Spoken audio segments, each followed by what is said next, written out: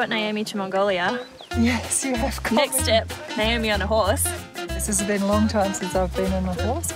You know, we've been travelling for now three days and we're still not there. Apparently up over this ridge, across a plateau and down another hill and then we'll be there.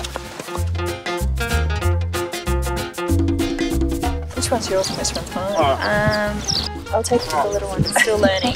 Doing any good? Yeah. She's a bit dry. Just to see the simplicity and how they live. It's an amazing experience. It is, yes. Very, very privileged to be here. And this is my Where's his head? Where's my bachelor? Yeah.